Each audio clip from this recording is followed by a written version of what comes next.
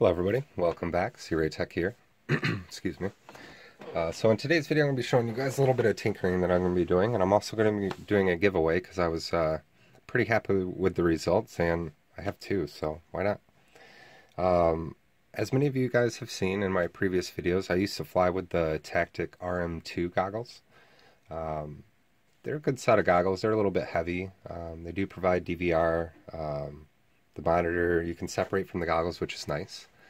Uh, but I had some problems with the monitors, so uh, mainly the battery was what was going out in them, and it wouldn't charge, and the indicator for the battery's charge was inaccurate, and there was a few other issues. But um, one thing that I did want to do is make use of these monitors. I had one with a bad backlight, so that really uh, was irking me because I wanted to be able to use it. I mean, I've got a good 5.8 gigahertz receiver with a DVR that's collecting dust. It's kind of bothering me. So I figured best best way to go about it is to maybe replace the LCD or get video out. So I hit the internet and wasn't really able to find a LCD for the price I wanted to pay and had the correct ribbon cable. So kind of shelved that idea and went back to the whole video out. And um, that was also had its challenges. Uh, being able to find a data sheet was really difficult. Um, I was actually only able to find a data sheet on the actual module itself.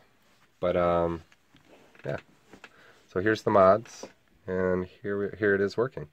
So the first thing I did was I got rid of the battery. I'm using a 1,250 milliamp hour uh, battery that I had connected through JST and then I've got my video outwired in. So there's nine pins on this to your left, and the last two are the ones that you're going to need. It's going to go pin 8 will be your video, and pin 9 will be your ground. Sorry, I covered up this with hot glue so it would stay. I'm using the, I didn't snap the back on, I'm just using some Velcro to hold the battery on and then also to attach it to the back of the monitor. Yeah, this thing works great. Um, being that the backlight was dead in this monitor, it made it pretty much useless, but now it breathed some new life into it. So uh, I'm going to go ahead and show you guys in action real quick.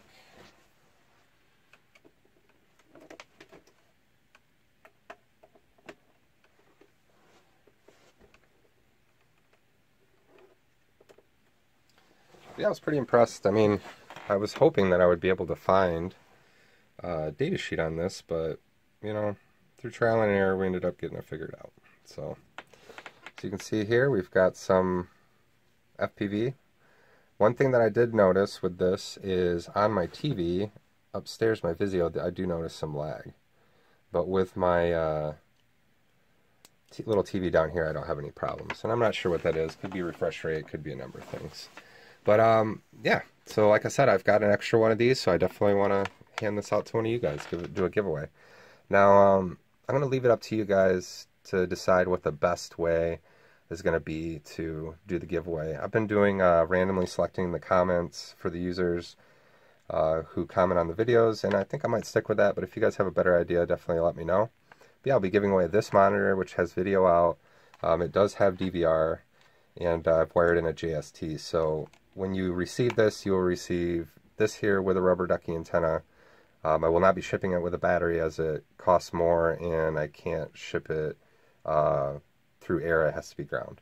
So let's keep that in mind. And I'm also going to do this for, uh, I apologize, but I'm only be doing this for my US viewers, mainly because shipping costs so much. Now, um, if you guys would like to pay the shipping for anybody overseas who uh, enters, you know, I would be more than happy to send it to you, but like I said, it, it can get really expensive. So, um, yeah, I want to give this away, and I hope you guys uh, find this to be pretty cool. Like I said, uh, don't give up on your parts. I mean, if it doesn't work, there's there's going to be a component or there's going to be some part of it that you can still use.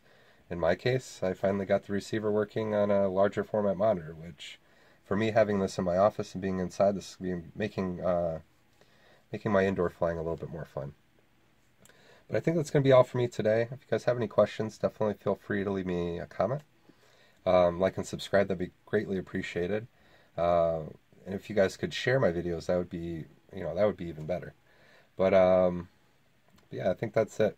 So uh, yeah, stay tuned for some future videos. I got some more builds, tinkering, uh, reviews, flight footage. Um, I got a bunch of stuff coming out soon, so yeah, stay tuned for that. And uh, yeah, as always, guys, fly safe and fly often.